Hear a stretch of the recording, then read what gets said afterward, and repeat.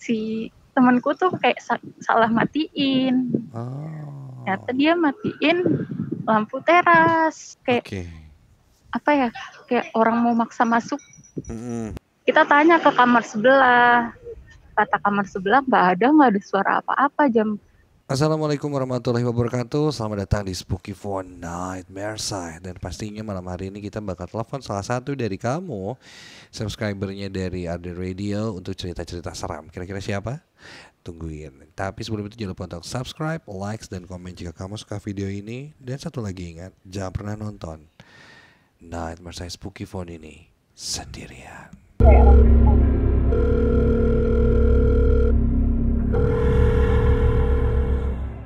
Dan malam hari ini kita sudah terhubung dengan Kai. Halo Kai, apa kabar? Halo kak, alhamdulillah baik. Alhamdulillah baik dan Kai. Kakak sendiri gimana Oh. kabarnya? Alhamdulillah saya juga baik sehat. Amin. Terima kasih udah nanyain kabar aku. Eh, Kai ini lokasi di Bekasi ya kamu ya tinggalnya ya? Iya betul.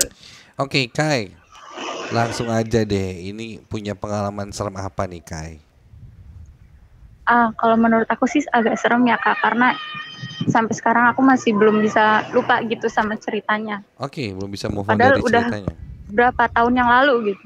Oke, kejadiannya pas kamu eh, umur berapa? Masih kecil atau Aku kelulusan SMP kalau nggak salah. lulus SMP? Oke. SMP ya. Iya. Kalau sekarang berarti kamu udah kuliah atau Udah kerja? kerja sih, Udah udah, kerja ya. lumayan. Oke, udah berarti udah beberapa tahun yang lalu. Iya. Lulus SMP. Gimana ceritanya nih? Jadi ceritanya tuh aku kan ini apa namanya perpisahan tuh ke salah satu daerah di aku lupa nama daerah di daerah sana lah pokoknya gitu. Oke, perpisahan sekolah ya. Nah. Nah. Perpisahan sekolahnya barengan atau kelas doang gitu? eh barengan satu Satu angkatan. ini satu angkatan. Hmm, Oke, terus? Nah, oh da- daerah Panga, apa Pangandaran ya. Oh, Pokoknya daerah-daerah pantai. situ lah. Iya, pantai Pangandaran. Oke. Ya. Terus, terus? Nah, di apa sekolahku tuh nyewa salah satu kayak bukan villa tapi apa ya disebutnya kalau di sana tuh Mhm, kayak bukan villa tapi kayak rumah mhm. cuma disewakan gitu. Oke, kayak wisma gitu lah ya. Mhm, Iya. Oke. Nah, saat itu tuh kita nggak tahu kan daerah-daerah situ tuh gimana. Mhm, Kita dapet di daerah yang agak masuk ke dalam mhm, dan lumayan agak serem sih sebenarnya. mhm. Cuma karena kita mikirnya mau perpisahan ya, kita nggak mikir yang aneh-aneh kan. A- agak seremnya tuh kenapa? Karena mungkin banyak pohon atau jauh dari Karena keramaian. agak agak pojok dan agak jauh dari jalanan. Oh, terpencil gitu ya. Iya, dengar-dengar juga kayak katanya belakangnya ada jurang lah atau apa segala macem. Oh, oke gitu gitu. Oke oke. Nah, Terus, nah, terus si aku sama teman beberapa teman aku tuh dapet kamar paling pojok. Mhm, Paling pojok itu deket dapur. Dapurnya ini tuh sama sekali nggak pernah digunain katanya. Karena serem, entah seremnya kenapa gitu. mhm. Udahlah kita cerita, singkat ceritanya kita ada acara kan sampai jam 11 malam. Mhm. Sebelum itu kita di briefing nih sama guru katanya "Eh, nanti lampu kamar mandi jangan dimatiin ya sama lampu teras. Hmm. Lampu Nah. kamar mandi sama teras jadi mati. Itu kata siapa? Kata guruku, Kata mungkin udah guru. dikasih tahu sama yang punya gitu ya, oh, nggak oke. tahu. Kamar mandi sama teras jadi matiin. Siap. Ya, tak dulu Hmm. agak merinding kalau mengingat. Terus terus. Nah, si temanku tuh kayak sa- salah matiin. Oh. Ternyata dia matiin lampu teras. Teras dimatiin Di saat- dia. Iya, di saat jam 11 lewat udah mau setengah 12 gitu. Hmm. Karena anak-anak udah pada disuruh masuk ke kamar masing-masing kan. Hmm. Yang ada di gazebo deket dapur itu cuma ada guru-guru dan katanya setelah kita masuk nggak lama guru tuh pada masuk. Hmm. Oke. Udah tuh kan kita ya nonton TV biasa gitu kan. Ya. Setelah mau jam 11 mau setengah 12 gitu, Hmm. tiba-tiba suara di depan tuh kayak berisik bang. Berisik kayak orang ngoceh apa segala macam gitu. Oke. ya kita pikir kita yang di dalam kan oh mungkin ada guru masih pada ngobrol gitu kan Iya. eh ternyata berapa menit kemudian pintu yang udah kita kunci kalau apa sih kalau di sini bahasanya grendel ya Mhm. nah pintu itu udah kita kunci tiba-tiba dari depan tuh kayak ada yang dorong. Kayak ada yang buka paksa kayak suruh brrr, sampai gitu. Kayak Oke. apa ya? Kayak orang mau maksa masuk. Gimana sih? Sampai bunyi banget gitu.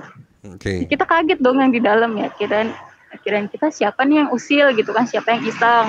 Oke. terus akhirnya pada ketakutan semua. Karena di depan tuh masih kayak rame-rame kan mikirnya orang iseng gitu kan.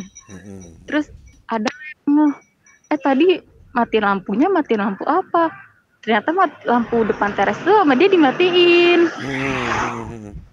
karena kan harusnya nggak boleh dimatiin kan ya harusnya kita kan kayak menghargai gitu Nah, kita, Hmm. istilahnya kita tamu kan Oke. nah setelah itu nggak ada yang berani nyalain si lampu depan kan Oh nggak langsung pada takut. dinyalain lagi.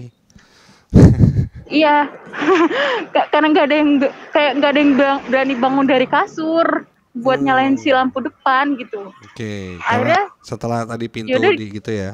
Terus. ya setelah pintunya dibuka paksa gitu nggak ada yang berani sama sekali nyalain lampu tapi kita tahu itu kesalahan kita karena kita matiin lampu itu Mhm. udah gitu singkat cerita pagi lah sampai pagi kita tanya ke kamar sebelah kata kamar sebelah nggak ada nggak ada suara apa-apa jam sekitar jam segitu apa udah pada masuk tuh emang guru-guru udah pada masuk semua tapi Hmm. logikanya ya pintu sekencang itu masa nggak ada yang denger gitu nggak ada yang denger didobrak paksa gitu Jadi setelah ditanyain pagi-paginya nggak ada yang ini ya lah ya. Nggak ada Iya. orang yang keluar, nggak ada siapa-siapa. Oke. Nggak ada sepi ternyata Mhm. kalau menurut aku itu serem ya nggak tahu kalau menurut yang denger gimana Oke. Tapi eh, setelah itu eh, malamnya nginep lagi nggak ada kejadian apa-apa atau habis itu siangnya pulang? Eh, nggak ada sih eh, nggak karena kita ingat tuh lampu nggak boleh dimatiin jadi kita setelah ingat itu alhamdulillahnya nggak ada kejadian apa-apa Hmm. Tapi nggak ada yang sampai ngelihat eh, sosok sesuatu atau penampakan gitu atau ya, yang lainnya? nggak ada Nggak ada ya? ada yang berani nggak ada yang berani keluar nggak ada yang berani ngintip dari jendela tuh nggak ada yang berani Oke, berarti cuma sampai cuman Iya, si sampai mau pintu ma- itu ya. ya cuma gitu aja Oke, wow. Wah, menarik sekali. Eh, kamu masih ingat tempatnya di mana berarti ya?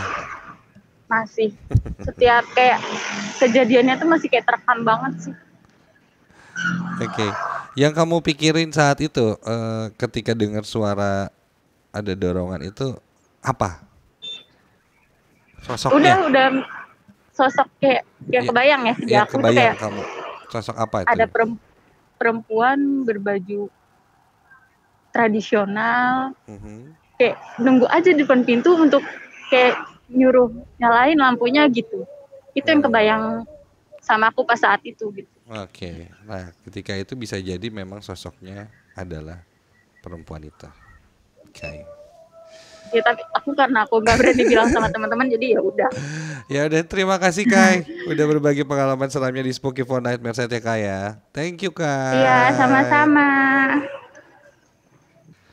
Oke itu tadi pengalaman Kai yang cukup singkat sebenarnya tapi untuk sebagian orang mungkin atau menurut Kai itu ada pengalaman yang seram banget gitu. Ketika tiba-tiba eh, pintu bergerak sendiri ada yang dorong ada yang gedor tapi tidak ada siapa-siapa di sana. Ditambah dia atau mereka itu melanggar satu hmm, apa ya aturan yang tidak boleh dilanggar yaitu mematikan lampu teras dan apa yang ada di pikiran Kai saat itu adalah sosok perempuan berbaju tradisi yang meminta untuk menyalakan kembali lampunya.